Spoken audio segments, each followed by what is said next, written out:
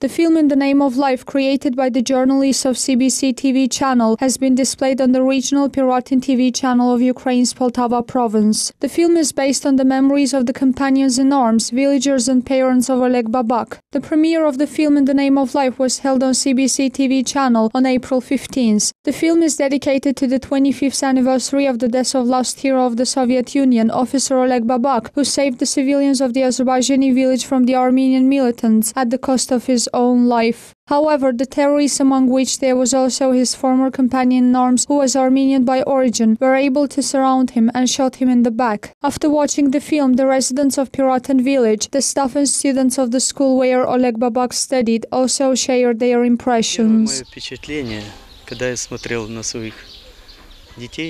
My first impression was that I had tears in my eyes. It means that the film, its creators have done their best in order to deliver to all of us the bravery of our fellow countrymen. It has touched my heart. I think that this film is very emotional. This film is very impressive and enlightening. In my opinion, this film will remain as a textbook for the educational world. Moreover, our school is specialized in the military patriotic education. Currently, it's very topical in my country. Oleg Babak was the last hero in the internal troops and the first hero of the Soviet Union who received this title during the resolution of the international conflicts. In this case, it was the Armenian-Azerbaijani conflict.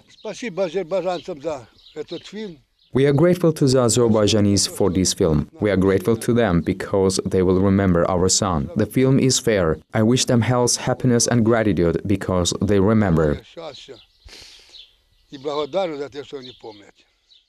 Oleg Babak perished on April 7, 1991, on the main holiday of Orthodox Christians. It happened in Yukhari Jibikli village of Azerbaijan's Kubadli district. The lieutenant rejected to follow the command to withdraw and fought with terrorists for two days. He died heroically, fighting till the very end. Hundreds of Azerbaijanis were saved due to his courage. Rana Aghayeva, CBC.